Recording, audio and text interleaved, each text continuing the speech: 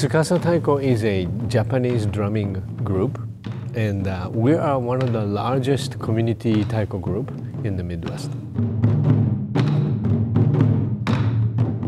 I think general understanding of this is that we used to use this drumming for the uh, religious, religious practices and uh, folkloric practices.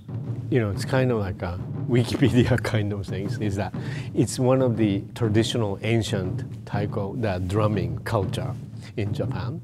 And uh, we believe that you know influence came from Indonesia, China, Korea, and, and you know the Asian countries around us. Um, and it goes back to a few thousand years, right? Here at Tsukasa Taiko, we try to do some of the things, but I think we are, we are mainly focused on theatrical drumming. We believe what we play, which is folkloric tradition and the theatrical tradition, come from about 600 years ago.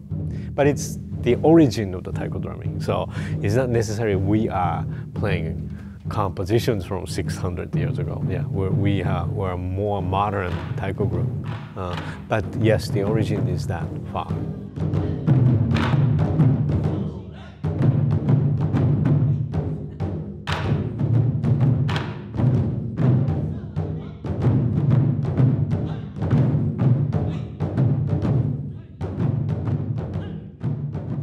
I think the stereotype of drumming is today is, is a large drum with a muscular man playing in the power drumming.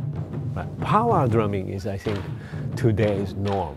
Uh, so we do have powerful drumming, but it's not really the power iconic drumming.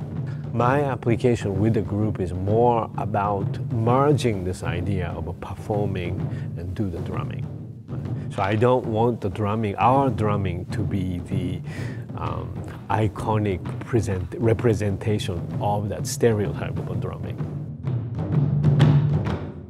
Well, I think one of the things that I always wanted to try to talk about is that how it's always a challenging thing for us to show you our aesthetic value on the drumming, yet still claim our uniqueness without being bundled together with the other taiko groups because we are very different. And, and we try to break off that shell, but I think for a lot of general public to kind of get interested in our taiko group, you kind of have to go through that stereotype.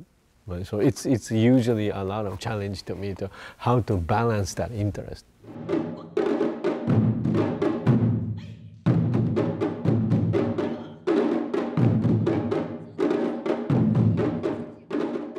We don't want to say it is a rhythmic drumming. Yeah, because I think taiko is not really a rhythm-oriented drumming like the other percussion instruments, you know. In some ways, I think modern taiko drumming became too metric, right? And in the traditional performing arts, any traditional music that we have in our culture, the never metric right? It, it was like, like a humanity built into the time signature, uh, which I think if you listen to older Western classical music, I think they have that kind of time, right? But today, I think people are looking for precisions, right? Tick, tick, tick, tick, tick, tick, tick, tick.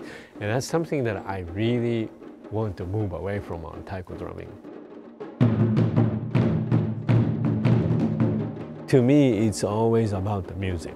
You know, could we play the music with the taiko drum? Or, or should there be any musical uh, aesthetics to build into the drumming that we have? Is that what is the musical component to be? Um, that's always my concern to, to try to digest that idea to offer the audience, but still give a sort of a fun to watch and, visual aspect of it. And, and I don't want to call it the entertainment aspect of it, but it, but it is very entertaining.